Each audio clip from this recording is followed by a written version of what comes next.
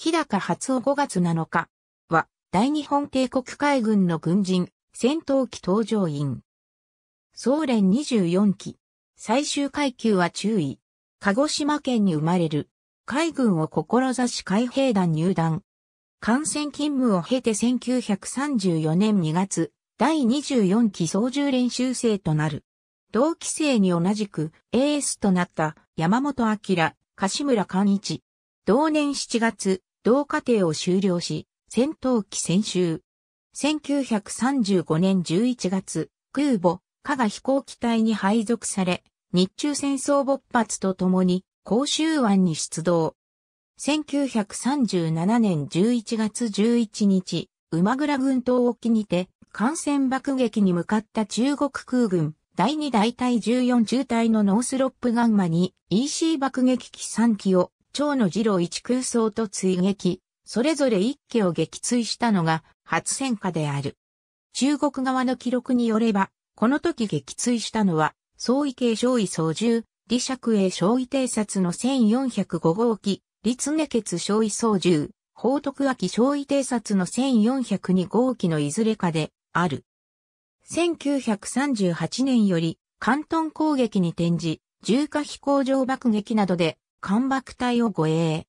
4月13日10時50分、関東省甲州の天が白雲飛行場空爆で艦爆隊の護衛として出撃。この艦船隊は95式艦船、96式艦船の混成編隊で、日高は英徳小隊3番機の95式艦船であった。道中、艦船隊指揮官だった手島秀夫隊員が発動機不調により指揮官小隊の2機と引き返したため、長のはじめ空想が残りの5機を指揮した。爆撃終了後、空中に展開していた中国空軍のグロスターグラディエーター18機と交戦、単独撃墜2機を報告。